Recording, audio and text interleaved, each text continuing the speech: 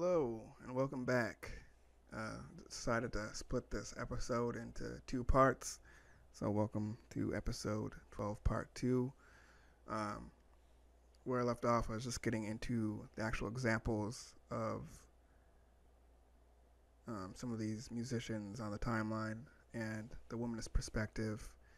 Um, you know, the first part, you can kind of see if you got were interested in, in kind of following along to these actual examples.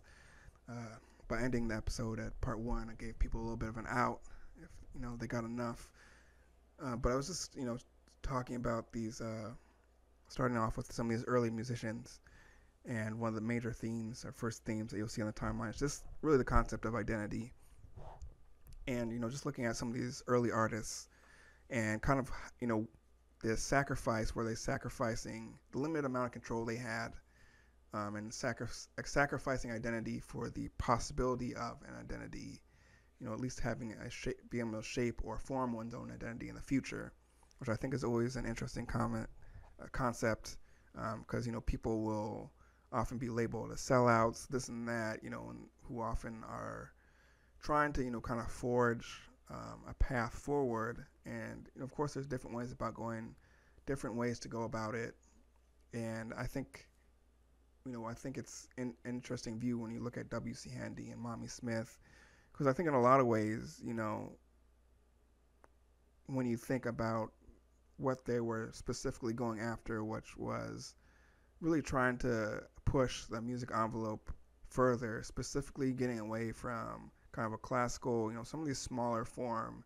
bands. Um, you know, at, at the time, there wasn't a whole lot of room for a small band, but getting shifting away from like a classical or symph- symphonic or kind of that format and getting into some of these newer genres, which at the time, you know, like ragtime, um, you know, they both were credited with having, in different ways, uh, first blues songs or albums or hits. Um, even though their songs were really more ragtime, but getting it moving in that direction and kind of putting a spotlight or shedding some light on this new sort of rural genre that was called the blues. Um, you know, without that, you know, you can say, you know, if they wanted to seek independence uh, as far as money, um, opportunity, you know, they could have gone a different route. Um, but you know, I think when you go back to earlier times and trying to, you know, really carve out some of these specific uh, professions or options, you almost have to, you know, you have a limit of options. You know, I think we could certainly get into a debate or a discussion about how differently could go about it. But in this case, you know, these early artists, um, most of them had to go through minstrel shows or some kind of variety or road show where there's going to be blackface, there's going to be, you know, just negative black caricatures and stereotypes, which you know is hugely prevalent, of course, at that during those times and you know, it can't feel great for your identity at all. It can't feel good for many, many reasons. Um, but there's also, of course, this other idea of you know, how did people view all that at the time? If you look at minstrel shows in general, you know, minstrel shows go. I we talk about in the episode, but they go very deep into American history. So obviously, one can assume or think that for a lot of people, you know, they weren't being viewed as negative, as negative as they probably should have been or could have been. And they went on for a long time, you know, of course, specifically in different, you know, not necessarily on a mainstream level, but, you know, it's, uh, yeah, it probably went on too long, I would think. But, but anyway, so you know that perception. What was their perception? How was it impacting them? Were they thinking about, you know, that this was how they were going to get or fulfill their dream or progress? You know, were that was it all about that foresight, and was it limited, uh, negative? You know, when you look up, look at recent history or just the entire scope of how Black people were being treated as just as far as you know clear open violence and persecution and uh, just all of that you know in contrast, you know, how how did this fit into that? You know, how was how was that perceived for them and by others? You know, so I think, you know that sort of identity aspect and you know kind of relating that back to the womanist perspective is just um you know whatever time period you're thinking about and how someone kind of views themselves and their identity within the community in this case how are they adapting and you know how are they kind of preser- persevering and thriving? You know it, can you thrive while sort of taking on this sort of identity approach um, when you're you know involved in like these minstrel shows which are you know seemingly very negative towards black people yourself and the community uh, but you're sort of at the same time you're doing something that people haven't been able to do um, before um, and you know you you can see yourself progressing hopefully you know obviously when you're in that s- situation you don't know if you're ever going to be able to have the freedom or independence to create your own art but you know you're hopefully progressing towards something that you wouldn't have not otherwise been able to progress for progress towards and other people have not been able to progress uh, towards. So you know it's it's an interesting um, example and viewpoint I think and something to consider um, especially within this sort of uh, considering these different perspectives um, of music and womanism um, and of course, another another theme that we touch on quite a bit is just the copying of music without credit or really concern. Um, this happened to Mamie Smith um, a number of times, and you know, once again, you know, as you continue the Mamie Smith story, I uh, talked about it a little bit on another assignment, but you know, just you've already had this sort of identity impact. You've made it this far. You've thrived. You've, you know, for you've been able to utilize your strengths and experiences to get you to this point. And now, you know, you you make a hit. You get, you know, you're able to make your own music, your own art to a certain extent. And then, you know, someone else um, just basically pulls, you know, the, that copies that outright and is able to do that pretty willy nilly and uh, you know make more money. It's a bigger hit for them.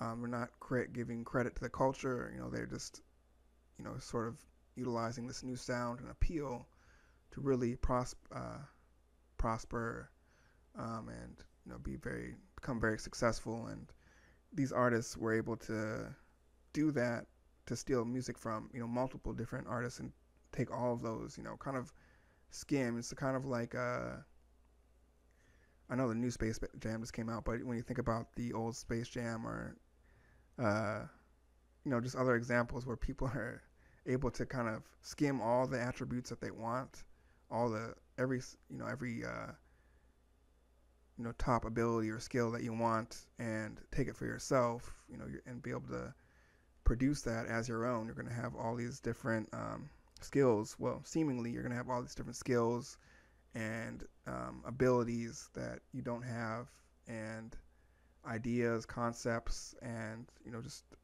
incredible artistic straight um, strengths that you don't and you're just using this to become successful and prosperous and i think you know people like to to um, think and i think to some degree there might be a some grain of truth as far as you know artist to artist there's an appreciation you know, like this artist who's taking it is appreciating it and is like, wow, you know, recognizing the the skill, but you know, nonetheless, you know, it doesn't at the end of the day, it doesn't really matter because it was stolen.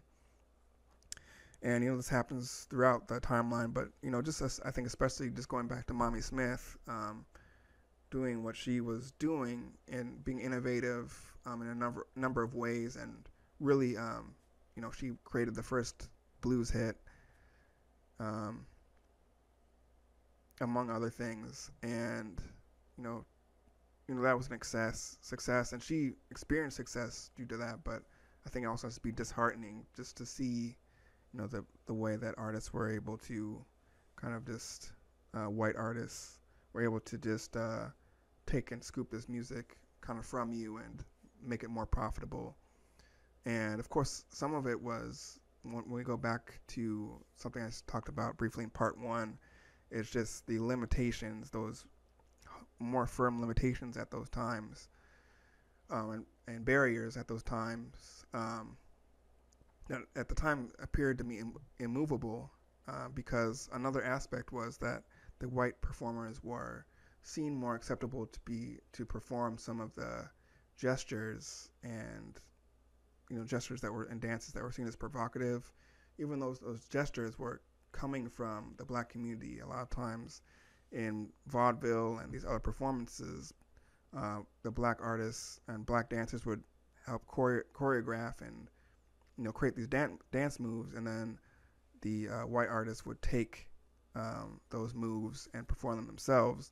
And not only that you know they were the only ones who were seen culturally acceptable to perform them even though you know overall they were seen as you know sort of crude and uh, inappropriate in general but that was allowed and definitely was not allowed for the black performers and artists. So you know you have people stealing from you and then you also have uh,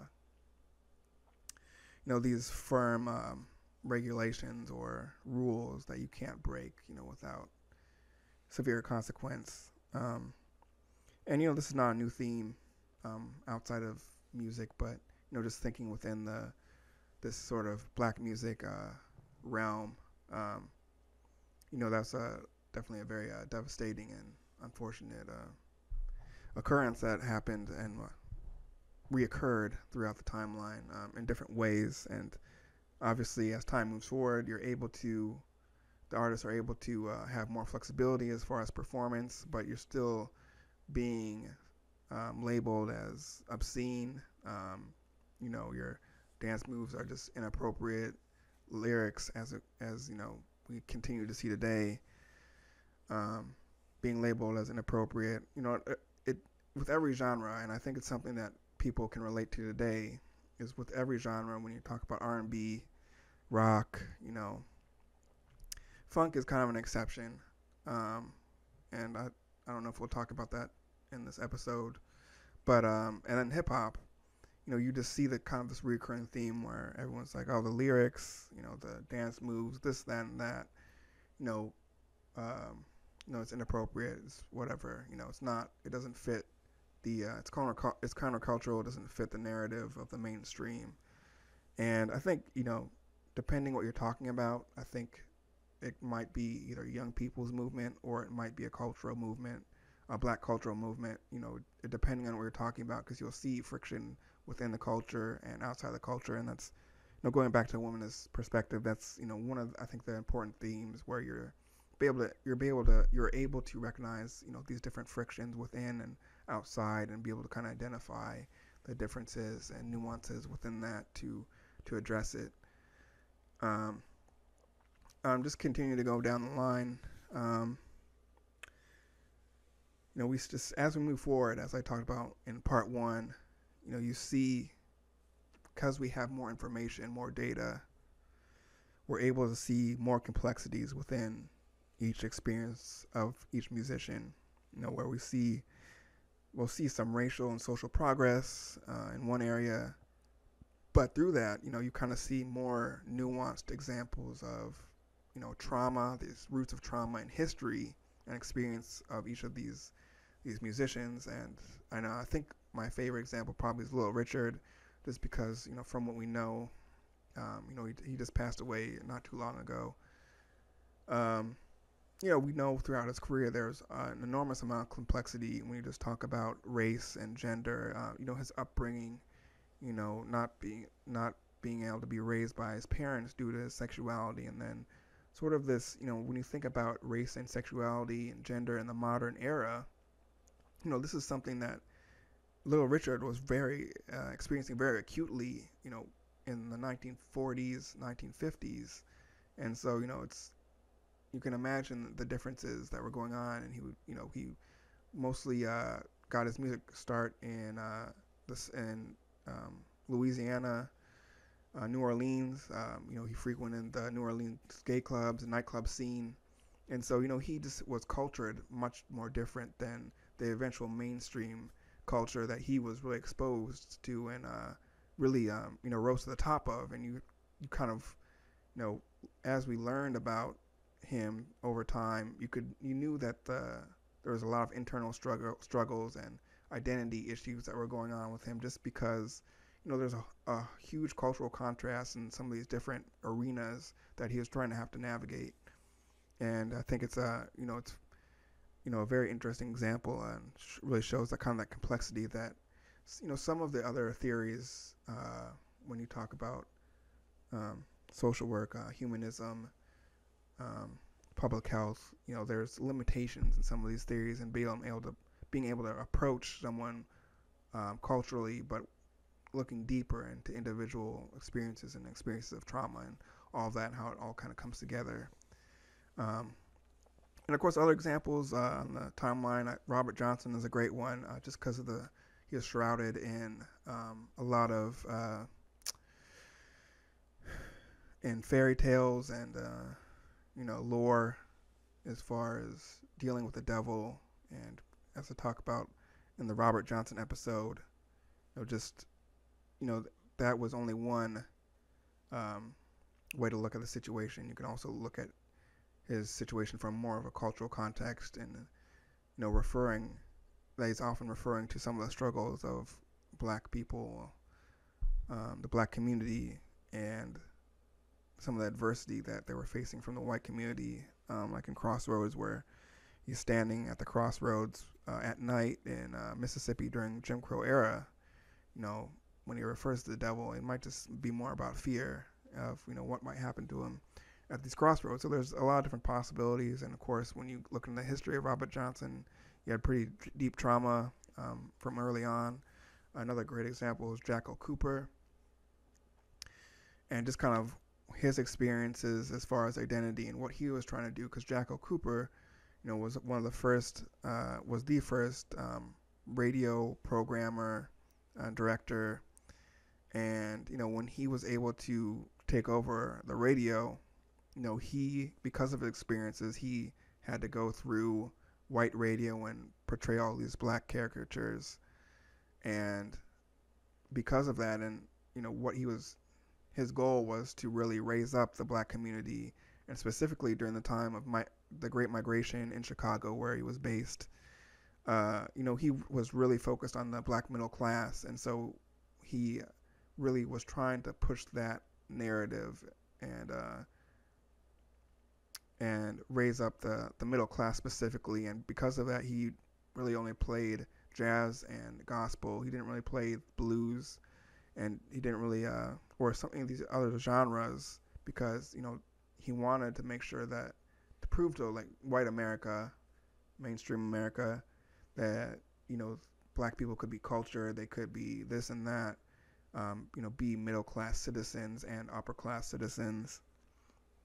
And of course some of these other you know the blues and these other rural based genres um, were a little bit more crude in a lot of ways you know a lot of times they were seen as anti-christian and you know that's not the narrative that he wanted to push or that's not the um, view or um, cultural uh, perspective that he wanted to push so you know in a lot of ways i think you know it was kind of it, it didn't help a lot of the uh, rural black community that was moving into the into urban areas. Um, you know, I don't think it was necessarily welcoming. They didn't, you know, he specifically made sure to, you know, not use like a vernacular or, you, you know, he wanted to really uh, stay proper and all of that.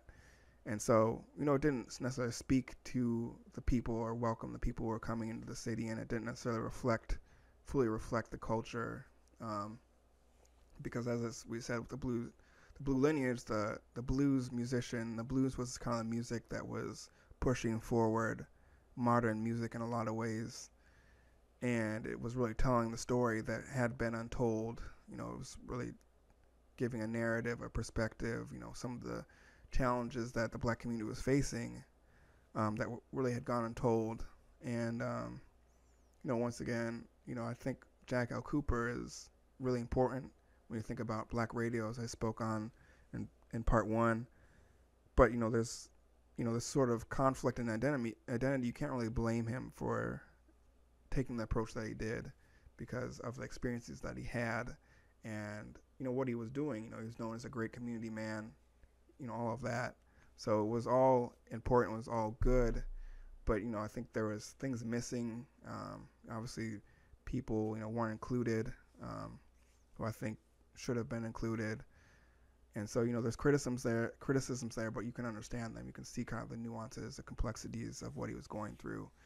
And, know, I think that's important. Uh, Cha- Champion Jack Dupree is another good one just because of his experiences as a youth and how he was raised, what what he, what he went through, and then he ended up spending most of his music career, the bulk of it, in Europe, just because he appreciated the uh, how he's welcomed in Europe versus the United States.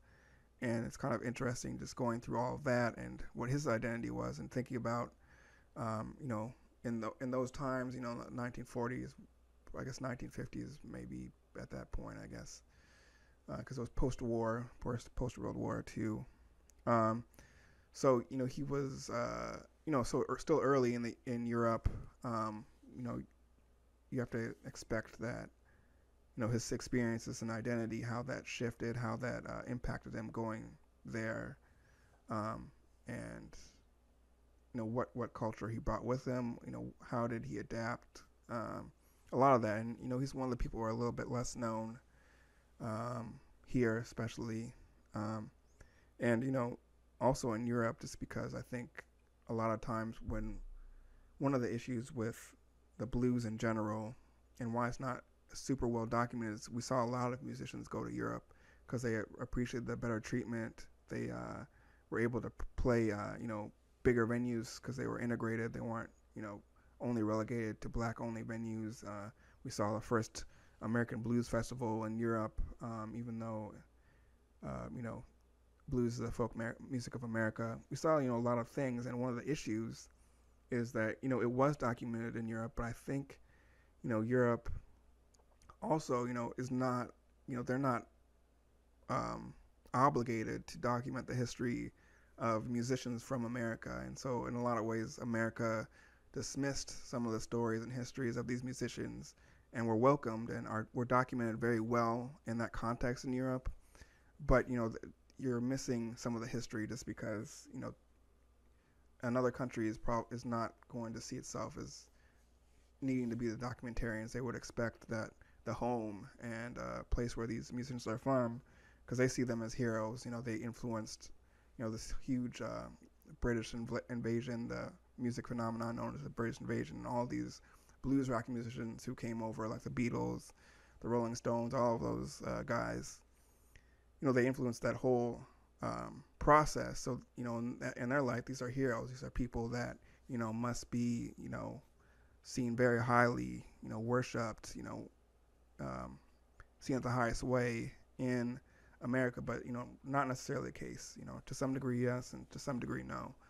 Um, so yeah, just that whole that whole uh, concept and theme, and for Jack, Champion Jack Dupree going over to Europe during those times, I think is interesting. And of course, Lavern Baker is another one who I think is pretty well known in her time, maybe not historically um, overly well. Um, but she's another interesting individual just because of you know the way she came up. Uh, it was essentially the rock and roll era. Um, you know, at this point, we saw other, a number of other black women um, uh, singers and vocalists at this time who had had a lot of success. She Ruth Brown preceded her, who was, um, you know, a very big hit, and she kind of speaks on some of the racial complexities of rock and roll and R and B. Um, but Lavern Baker comes along and kind of uh, it's interesting just because the way that she her career unfolds as far as just identity and where she's able to take it in comparison to some of the previous artists. And you know she really ends up spending a lot of her time um, in the Philippines on a Navy base in the end just because of you know at this point, you know, it's a little bit less about race and gender, and once again, we're you know still very present, very uh, important, but now we're also seeing a very dominant impact from the industry and sort of the expectations and the lifestyle that um, these musicians are now living just because they are having crossover effects and you have another culture, you know, really um, paying attention to you for specific reasons and, you know, wanting a specific product. Um, but not you're not necessarily getting you know sort of the full experience and full acceptance. So you're in addition to kind of these gender and racial um, issues, you're also getting you know the, sort of this interesting um, exposure and access and new pressures and not necessarily barriers, but uh, sort of conditions um, just from the industry aspects. And you know, I, uh, and I think uh, you know Lavern Baker is interesting because of the way how she got into the industry as far as her earlier career and some of the ways that she had to portray herself. You know, in some ways not all super different from Mamie Smith, but definitely different when you consider the era and the, and the times. Um, but she, you know, would speak in the past about not liking her early career and what she, the character she kind of portrayed at that time, or character mostly one character, and then kind of how her career progressed and ended. Um, you know, unfortunate ending. Um, but you know, another example of um, you know, sort of kind of this identity and how things kind of shift um, over time um, and become a little bit more nuanced or seemingly more nuanced. I don't think things are necessarily more complex than they were then, but we the way we're able to see them just because of the information that's available to us. And um, where, where are we on that time? Um,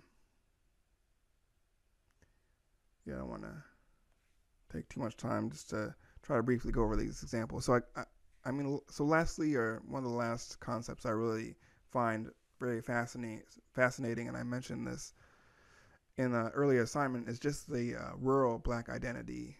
Um, and I just I briefly talk about with Jack L. Cooper, but you know this idea and concept that these rural black Americans were shaping the urban music of tomorrow. You know, you look at Charley Patton, um, probably one of the best examples. You know, this early rural blues.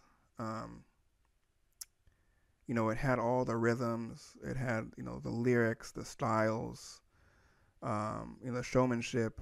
It had all of the components that went into, um, you know, these later genres. You know, the urban blues, R and B, funk. You know, all of these early, uh, you know, all the concepts of polyphonic rhythms.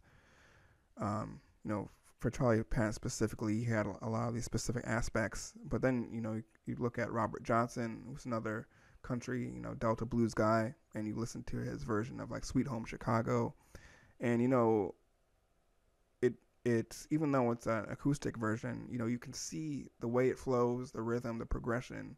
You know, it's really almost exactly the same as it is now. And if you listen you know, to a modern version, you know, it's uh, it's still blues, but it's very uh, you know, it's a shuffle, Chicago style, um, but it's very um, you know, it's very rock and roll esque, and you're not really seeing a huge difference. And obviously, as we see in the timeline, things evolve. You know, at that time, there's no electric bass, so where are you gonna get the bass rhythm from? You know, um, it was up to the the acoustic guitar player to play bass, and especially you know when you consider the recording technology, they're not going to necessarily pick up, you know, some of these if they're playing uh, a bass or something, a bass rhythm or something within their rhythm structure, their music structure. Uh, I mean, that's not really a, a, super important detail, but but you know, regardless, you know, the the bass, um, electric bass, when you get moved to electric guitars and electric bass, that changes everything. Now you can uh, you can increase the percussion section. You can have this drum set. You can have you know more dominant uh, percussion from that that drum player, and of course bass. Um, the bass sound in general, you know, before there's electric bass, you don't really, you know, there's not a dominant bass sound. You just you mostly just have these uh, lead instruments. Um, you know, you have stand-up bass, which is just kind of, you know, holding the the the bass, the rhythm, and the uh, bass line just kind of keeping being the backbone of the of the entire musical structure, and you don't really have an opportunity to really bring that to the forefront. The bass is almost for the musicians more than anything. um, to hold it together. Just sort of when you think about early percussion, you know, the early bass, early percussion, you're, you know, the the bass, um, the bass line is almost just the backbone, is holding everything together, keeping everyone on time, on point. and until you have the ability to amplify that and bring it to the forefront, you know, it's not it's not a factor. But when you listen to some of these old, older, you know, rural blues musicians, they were already, you know, the, the pieces were all there. It was just a matter of the technological in, uh, innovations and advancements to really allow a lot of these musicians to move and adapt and create these sounds. And you know, I think it's a very interesting concept. Um, another great example is Tommy McClennan. Uh, Tommy McClennan, you know, grew up in rural Mississippi, playing rural blues, but you know, he's not very well known. But when you look at his his catalog and some of the limited performances that he has, uh, you know, his his uh, blues very very modern, almost like electric urban blues. You know, very little bit little changes. So, you know, these these uh, rural Black Americans were shaping kind of these urban sounds, and I think it's interesting just because, uh, you know, today we think of the Black community is so heavily tied to, you know, the urban environment and just that the urban community. So, you know, I think, you know, obviously there's still a very large um, black um, presence, black American presence in the South. And, you know, I think overall, when people go back um, to those times, if you do want to go back the timeline, you know, you heavily associate uh, the rural life with slavery, of course. Um, but, you know, I think just taking that sort of concept, you know, isolating that whole concept of you know what was happening um, culturally and musically in in the rural South, um, in Mississippi, and uh, Texas, and all of these areas, Louisiana. You know, I think it's very interesting that uh, you know we think of these sounds as being very corely urban. Um, I think especially when you think about modern music and how modern music was really shaped in New York, you know, Harlem, and um, in those areas, uh, which it was. But I think you know once again you can still kind of go back to these this rural sound and these rural musicians, and even though it doesn't sound like it, uh, you know when you taste listen to it face value, it sounds pretty. Sounds like rural blues, uh, but when you really break down the songs, uh, it's very clear that you know all the elements, um, all the data, you know all of the, uh, it was all there, and you know the stories, you know the lyrical structure, you know, it was all uh, it all kind of goes back to that, and you know, we don't necessarily make that connection from that rural to the urban all the time. Um, and I feel like that's a definitely a disconnect. So something something uh, you know interesting to think about yeah, as you move forward. And I guess I guess the final concept I'll speak of is just it's not a, a, major one. I I don't think because it's we kind of touch on it a little bit at the end of the timeline, but just as you see uh, black musicians finally get control over music and expression, you know, generally speaking, uh, you see more uh, more controversy within the black community. You know, you see a lot of more of that inner conflict. Not that it wasn't there before, but um, but just when you talk about specifically from an industry standpoint, uh, you know, Jockey Jack or Jack the Rap, also known as Jack the Rapper, was really big into this um, as far as, you know, from his vantage point. And, you know, for those of you uh, who knows, know about his convention that he used to hold, um, it's, uh, he just, you know, was seeing sort of from the perspective of black radio and some of these black uh, labels that were kind of coming up, just that there was a separation as far as, or also perpetuation as far as how uh, um, black labels and some of these black producers were treating black artists. You know, it was almost like, you know, it was it was just becoming um, the same as the mainstream um, or how the white um, own labels were treating black musicians. it was just being now done by the black labels and and just how things were kind of evening out. Um, I think Jockey Jockey Jack was a little bit, or Jack the Rapper was a little bit more um, harsh on allowing uh, or integrating, you know, white professionals into black labels as well. But I think more so the, the theme was just kind of this now uh, perpetuation that we saw, and that's one of the criticisms of Sylvia Robinson. Who Sylvia Robinson is, you know, a really important person on the timeline as far as her musical career.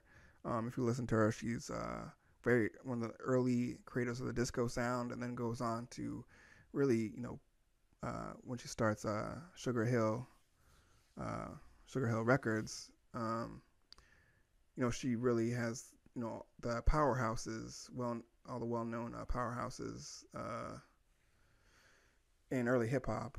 Um, when you uh, talk about um, the sequence, when you talk about uh, Grandmaster Flash. Um, you know, a lot of these early, uh, of course, the Sugar Hill Gang, of course, you know, when you talk about Sugar Hill Gang and the sequence, you know, really the, the first, uh, when you think about commercial um, rap albums or hits, I should say. Um, but, you know, one of the knocks on her is like Sylvia Robinson got some of these artists into these, you know, long contracts. I think with the sequence, it was like a 30 year contract. And so they weren't, they didn't get paid. They got their hit was, you know, in the late 70s, almost 1980. And so they didn't get paid until like the, you know, the 2010s, you know, for their, they weren't really making money off their hits or, you know, royalties. So, and, you know, that's of course a big thing. That was a big theme with black artists just getting, uh, screwed over all these years uh, out of money, and now you kind of see potentially the same thing happening, uh, but you know, with black producers or black label owners uh, doing the same thing to black musicians once again. Um, so that's a, just a kind of a final theme. Um, I'm, I'm not. We don't really get into the timeline because, as you can see, our timeline ends at 1984. Um, so you know, we don't really get super deep into an era where we see a lot more um, black owned labels and record companies and management. Uh, you know, at this time, we're just kind of uh, just getting into it, you know, with like Sylvia, Sylvia Robinson and, and company. And, you know, we see that theme a little bit with Motown Records. Motown Records is a little bit different just because, you know, Motown Records is, was really the, the key with Motown Records is the, is the formula um, um, how they how they sort of found this uh, formula and were successful with it and just kind of continued with that.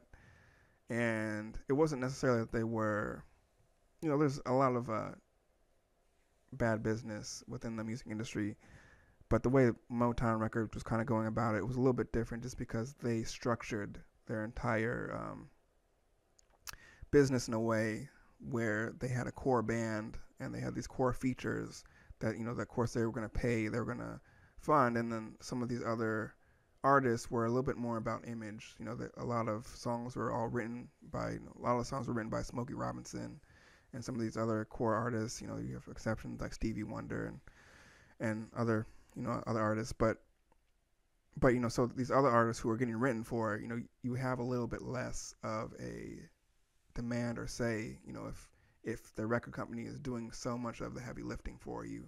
So it's a little bit different. You know, I'm not saying it's it's uh, right or wrong. You know, it's just a little bit of a different situation. But anyways, um, I'll try to wrap this up. I know I hope you y'all check out this timeline. Um, if any of these artists or stories caught your attention or themes, you know, you can even just um, briefly, you know, scan through it. Uh, the bios are very brief, um, but there's clips from the actual episodes that go a little bit more into detail about each artist, and there's examples of the songs that are on the timeline, in addition to maybe some other songs in some cases.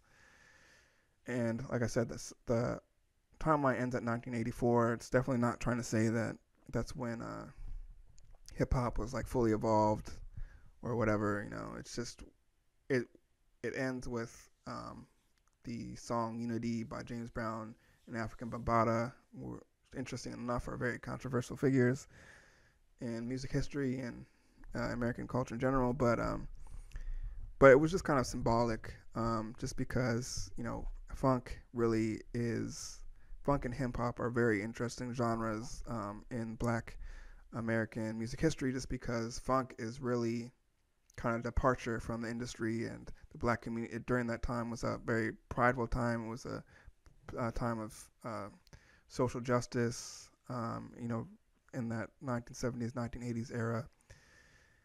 And, you know, the black community really all of a sudden had their own. Um,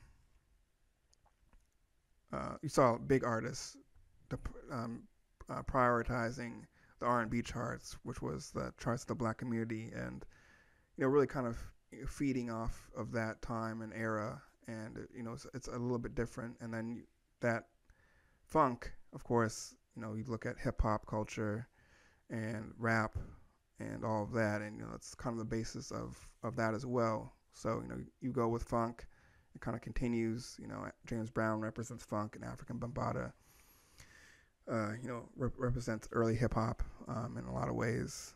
Um, so that was just kind of ending. It's more of a, a beginning than an end because it's hard to say where. We you know, I don't think it's too early to say where hip hop and rap, you know, whether you believe that hip hop is still uh, around or if, you know it's just kind of rap music now, whatever your beliefs are. Um, you know where those end, um, and you know when will another genre begin? You know who are going to be the sort of the originators or the the people who kind of construct or really define some of these different differences in uh, the hip hop and rap genres. You know where are the new genres? You know how do we separate from subgenres? Because of course in this timeline we we only talk about the core genres. There's a ton of subgenres that you can get into.